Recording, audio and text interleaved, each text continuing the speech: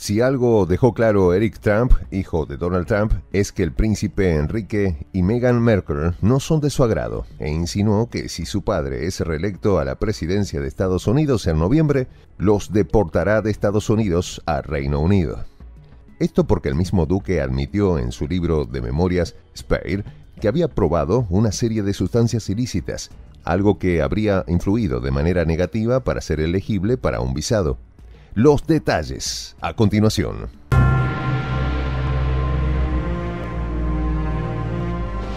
Voz de la Patria Grande.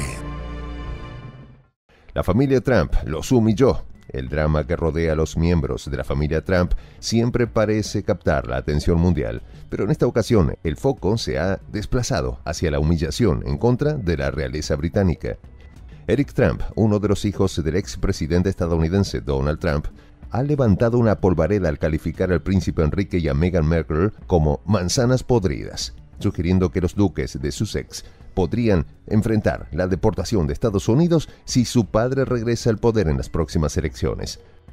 La relación entre Estados Unidos y el Reino Unido ha sido compleja a lo largo de los años, y durante el mandato de Donald Trump, esta relación fue puesta a prueba. Mientras que algunos aspectos de la política exterior favorecieron un acercamiento con el Reino Unido, sus comentarios y acciones a menudo reflejaron una relación más turbulenta. En medio de este trasfondo, la salida del príncipe Enrique y Meghan Markle del Reino Unido en 2020 para establecerse en Estados Unidos añadió una nueva capa de complejidad en esta dinámica transatlántica. En una entrevista con GB News, Eric Trump se hizo evidente que su tono cambió al referirse al príncipe Enrique y Meghan, a quienes sugirió con firmeza que deberían regresar al Reino Unido, una postura que también fue adoptada en el pasado por su padre. La corona británica es una institución muy sagrada y puedes tener felizmente a esos dos de regreso, afirmó durante su visita al Trump International Golf Link en Escocia, haciendo eco de la retórica divisiva que ha caracterizado a su familia. Recordemos que el año pasado el expresidente Donald Trump dijo que si el príncipe Harry mintió en su solicitud de visado sobre el consumo de sustancias ilícitas, tomaría las medidas apropiadas si gana las elecciones presidenciales de noviembre, sin descartar que el duque de Sussex abandone Estados Unidos. Las solicitudes de visados estadounidenses están obligados a revelar cualquier antecedente de consumo de sustancias ilícitas, lo que puede afectar su aprobación si se miente en la solicitud, pueden imponer penas que incluyen la deportación. Enrique, que vive en California desde 2020 y en sus aceleradas ganas de ganar dinero contando sobre su vida y los maltratos de la corona, admitió haber consumido sustancias ilegales en el pasado en su libro de memorias Spare. Las declaraciones de Eric Trump no solo reflejan las tensiones actuales dentro de la familia real británica, sino que también iluminan una fractura cultural más amplia. Siempre puedes tener malos actores en cualquier cosa. Siempre puedes tener manzanas podridas en cada huerto, aseguró el hijo del expresidente estadounidense. Por otro lado, a pesar de las afirmaciones de Eric Trump, Meghan Markle, siendo ciudadana estadounidense, no podría ser deportada de su país. Sin embargo, este tipo de declaraciones subrayan el tumultuoso contexto en el que se desarrollan las relaciones internacionales y personales en el ámbito de la política de alto nivel. La figura de Donald Trump no es ajena a la controversia. El expresidente también sugirió en el pasado todas las disposiciones legales que podría enfrentar Enrique por sus continuas mentiras a funcionarios de migración estadounidense.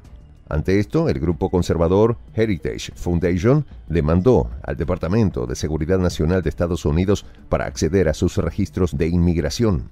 El año pasado, un juez dictaminó en ese caso que los detalles relativos a la solicitud de visado de Harry debían entregarse al tribunal. Farage, un viejo aliado de Trump, preguntó al candidato presidencial republicano si el príncipe Enrique debería recibir algún privilegio especial si mintió en su solicitud. No, tendremos que ver si saben algo sobre las sustancias ilícitas y si mintió tendrán que tomar las medidas apropiadas, respondió Trump. Cuando se le preguntó si eso podría significar que Enrique no se quede en Estados Unidos, el expresidente respondió lo siguiente. Oh, no lo sé.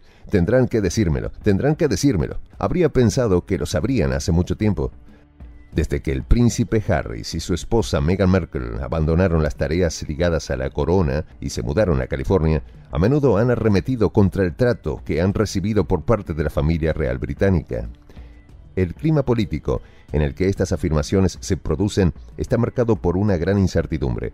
La posibilidad de que Donald Trump regrese al poder genera diversas especulaciones sobre cómo podrán cambiar las dinámicas políticas internacionales, especialmente en lo que respecta a los aliados históricos como el Reino Unido. Durante su presidencia, Trump adoptó un enfoque disruptivo y frecuentemente confrontacional hacia el establecimiento internacional, y sus simpatizantes esperan que continúe desafiando el status quo si vuelve a ocupar la Casa Blanca. La salida del príncipe Enrique y Meghan del Reino Unido, motivada por su deseo de buscar una vida donde no fueran sometidos a valores conservadores, se ha interpretado como un signo de descontento con la monarquía. Su mudanza a Estados Unidos fue vista por muchos como un intento de encontrar libertad y privacidad, aunque esta decisión también ha traído consigo un conjunto diferente de desafíos y controversias.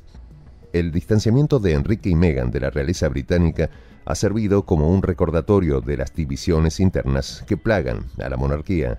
Las declaraciones de Eric Trump amplifican la narrativa de una familia real en crisis, donde incluso los miembros de su propia sangre parecen reacios a permanecer bajo su sombra.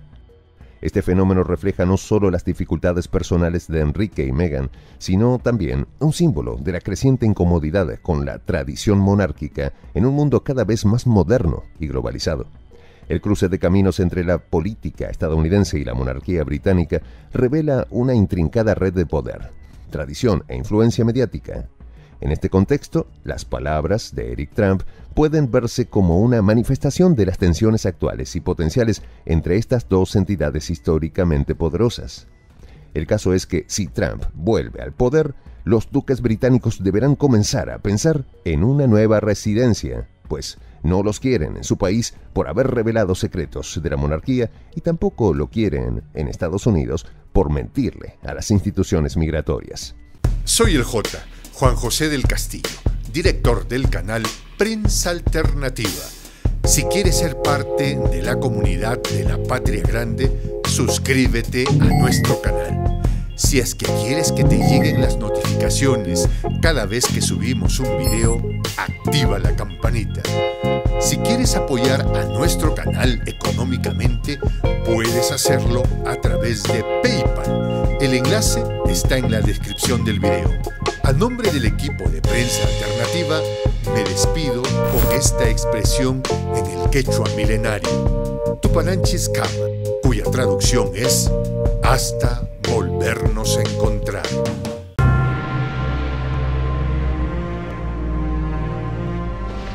Voz de la Patria Grande.